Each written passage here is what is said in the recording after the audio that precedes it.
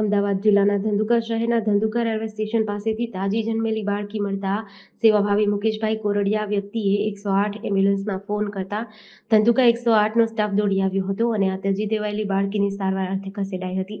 પ્રાથમિક તપાસમાં તેની માતાને લીંબડી ખાતેથી ધંધુકા પોલીસ દ્વારા શોધવામાં આવી હતી.